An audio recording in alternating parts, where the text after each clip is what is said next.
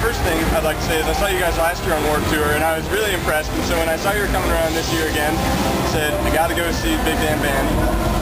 So what have you been up to in the last year since Warped Tour? Well, we uh, just released a record. We made a record and, and uh, released it uh, just a couple weeks before Warped Tour started. And uh, between then and now, we've been uh, touring nonstop except for a month of uh, shows in Europe. It got canceled because of that volcano. Oh, right, right. So how would you describe the new record? What went into it? Um, what should people expect to pick it up? Man, it is just more and better than all of our other records. They're just, it's just, uh, I think it's like this time when people get this, they're going to go, man, like they've seen us before, they're going to go, man, that's what they always should have sounded like on record.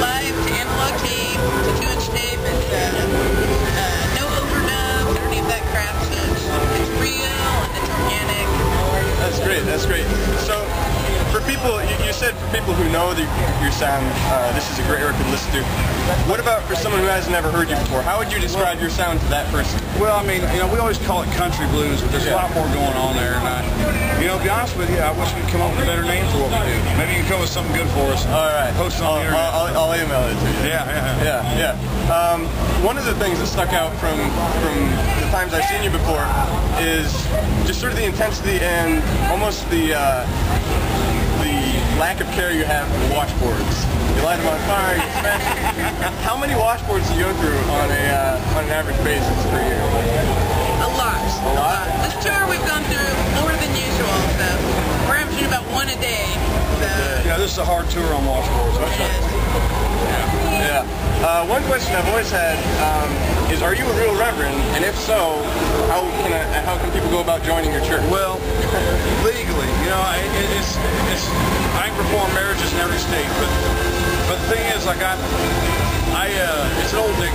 I, when I was younger, I, I was considering becoming a full-blown minister and started doing some of the classes and stuff.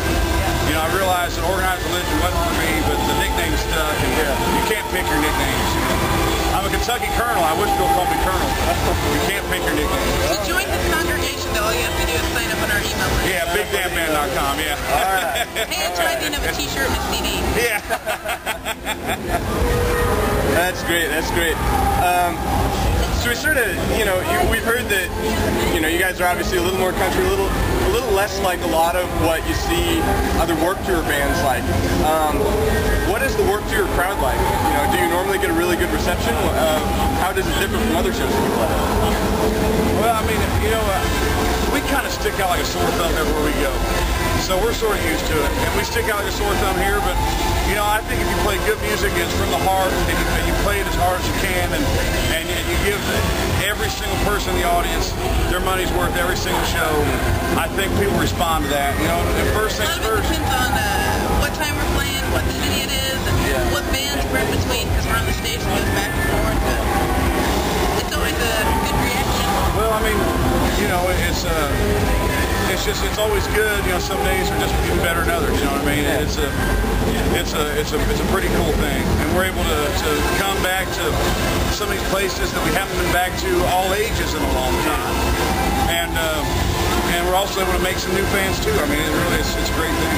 Yeah. Um, to close out, I'd just like to hear about what your plans are for the future. Where do you where do you see yourselves going, and uh, what do you plan on doing?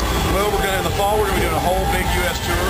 We're going to go back to Europe and hit the places that we had to cancel because of the volcano.